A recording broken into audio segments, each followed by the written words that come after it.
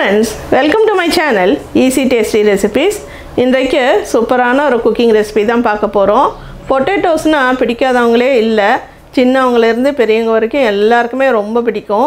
அதுலேயும் பேபி பொட்டேட்டோஸ்னால் குழந்தைங்க ரொம்ப விரும்பி சாப்பிடுவாங்க. ரொம்ப சிம்பிளாக ஒரு பேபி பொட்டேட்டோ பொரியல் செய்ய போகிறோம் அவ்வளோ நல்லாயிருக்கும் இது டேஸ்ட்டு ரொம்ப ஈஸியாகவும் செஞ்சிடலாம். குழந்தைங்களுக்கு ரொம்ப பிடிக்கும். லஞ்ச் பாக்ஸுக்கு கொடுத்து அனுப்பலாம். நீங்கள் இதை சப்பாத்தி கூட ட்ரை கறியாக கூட தொட்டு சாப்பிட்டுக்கலாம்.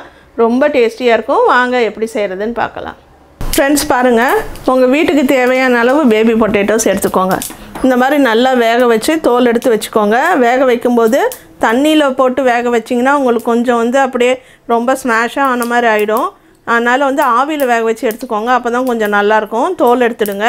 கொஞ்சம் வேணும்னா நீங்கள் வந்து தண்ணியில் போட்டு வேக வைக்கிறீங்க அப்படின்னா ஒரு விசிலோ ரெண்டு விசிலோட நீங்கள் ஆஃப் பண்ணிடணும். அதில் லைட்டாக உப்பு போட்டுக்கலாம். ஆவியில் வேக வைக்கும்போது நம்ம உப்பு போட முடியாது.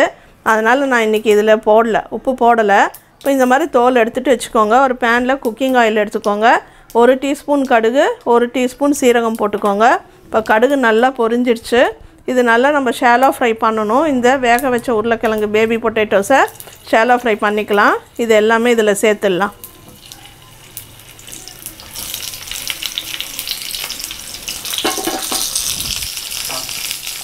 இது நல்லா கோல்டன் ப்ரௌன் ஆகட்டும். ஆனதும் பார்க்கலாம். ஃப்ரெண்ட்ஸ் பாருங்கள் பேபி பொட்டேட்டோஸ் நல்லா கோல்டன் ப்ரௌன் ஆயிடுச்சு. கரண்டி அடிக்கடி யூஸ் பண்ணாதீங்க. இப்படி ரொட்டேட் பண்ணி விடுங்க. அப்போ தான் எல்லா இடமும் நல்லா கோல்டன் ப்ரௌன் ஆகும். இப்போது இதில் என்னென்ன நம்ம சேர்க்கணுன்னு பார்க்கலாம். ஒரு டேபிள் ஸ்பூன் பொட்டுக்கடலை மாவு. பொட்டுக்கடலையே மிக்சியில் போட்டு அதை ரன் பண்ணி வச்சுருக்கேன். அது வந்து ஒரு டேபிள் ஸ்பூன் எடுத்திருக்கேன். ரெண்டு டீஸ்பூன் வந்து சாம்பார் தூள் ரெண்டு டீஸ்பூன் தனி மிளகாத்தூள் ரெண்டு டீஸ்பூன் தனியாத்தூள் தேவையான அளவு உப்பு ஒரு டீஸ்பூன் மிளகுத்தூள் கொஞ்சம் பெருங்காயத்தூள் ஒரு கால் டீஸ்பூன் வந்து மஞ்சத்தூள் இப்போ இதெல்லாம் ஒன்றா கலந்துடலாம்.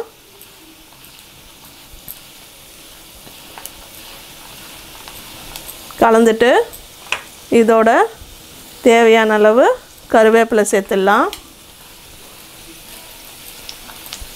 இப்போ எல்லாம் இந்த தூளை வந்து இந்த பொட்டேட்டோஸ் மேலே தூவிடலாம்.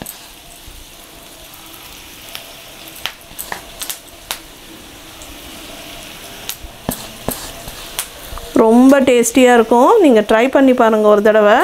ரொம்ப சிம்பிள் தான். இந்த நல்லா ஒரு தடவை இப்படி கலந்துடலாம். திரும்பி நல்லா ரோஸ்ட் ஆகட்டும் எல்லாமே. ரோஸ்ட் ஆனதும் பார்க்கலாம். ஃப்ரெண்ட்ஸ் பாருங்கள் நம்ம பேபி பொட்டேட்டோஸ் எல்லாமே ரொம்ப நல்லா கோல்டன் ப்ரௌனாக ஆயிடுச்சு. அந்த பொடியெல்லாம் சேர்த்த பின்னால் நீங்கள் சிம்மில் தான் வைக்கணும். மீடியமோ ஹை ஃப்ளேமோ வைக்கக்கூடாது. அப்படி வச்சிங்கன்னா அந்த பொடியெல்லாம் ரொம்ப தீஞ்சு போயிடும். அப்பப்போ இப்படி ரொட்டேட் பண்ணி விடுங்க பேனை நிதானமாக செய்யுங்க. பாருங்கள் எவ்வளோ அற்புதமாக ரெடி ஆயிருக்கு. ரொம்ப நல்லாயிருக்கும் டேஸ்ட்டு நீங்கள் ட்ரை பண்ணி பாருங்கள் உங்களுக்கு வேணும்னா மேலே மல்லித்தலை கொஞ்சம் சேர்த்துக்கலாம். நான் இன்றைக்கி சேர்க்கலை. சேர்த்திங்கன்னா இன்னும் டேஸ்ட்டாகவும் இருக்கும். இந்த ரெசிபி உங்களுக்கு பிடிச்சிருக்குன்னு நினைக்கிறேன். தேங்க்யூ